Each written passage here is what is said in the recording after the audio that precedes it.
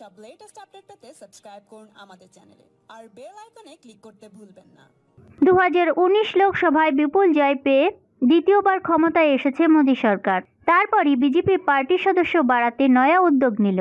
শনিবার বিজেপির কার্যকরী সভাপতি জেপি নাড্ডা জানান, বিজেপির নতুন সদস্যের সংখ্যা এগারো কোটি ছাড়িয়ে গেল। তাদের প্রাথমিক লক্ষ্য কুড়ি কোটি সদস্য তৈরি করা।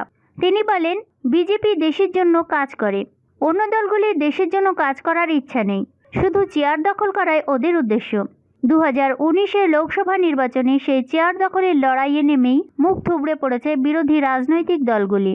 আর এখানেই বিজেপি শতযোজন এগিয়ে। তাই নয়া প্রজন্ম বিজেপির দিকে ঝুঁকছে। প্রাক্তন কেন্দ্রীয় স্বাস্থ্যমন্ত্রী তথা বিজেপির কার্যকরী সভাপতি জেপি নাড্ডা বলেন, আমরা বিশ্বের সব থেকে বড় পার্টি। আমরা কারও সঙ্গে প্রতিযোগিতায় নেই। আমাদের প্রতিযোগিতা নিজেদের সঙ্গে। আমরা এখন নিজেদেরই রেকর্ডই ভাঙছি আর গড়ছি। তেমনি কুড়ি কোটি সদস্য তৈরি করে আমরা রেকর্ড গড়তে চাই। সেটাই এখন আমাদের টার্গেট। তিনি আরও বলেন, দেশে মোট এক হাজার তিনশোরও অধিক রাজনৈতিক দল রয়েছে। তাদের বেশিরভাগই পরিবারতন্ত্রের উপর প্রতিষ্ঠিত। বাবার দলে ছেলে সর্বে সর্বা, আর বিজেপি একটিমাত্র পার্টি যেখানে একজন সাধারণ মানুষ সর্বোচ্চ পদে পৌঁছতে পারে। তিনি উদাহরণ হিসেবে নরেন্দ্র মোদী অমিত শাহের কথা তুলে ধরেন।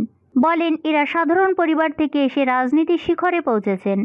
জেপি নাড্ডার দাবি, ভারতের মধ্যে একমাত্র দল বিজেপি, যাদের নীতি আছে, নৈতিকতা আছে, কর্মীর উপর নির্ভর দল।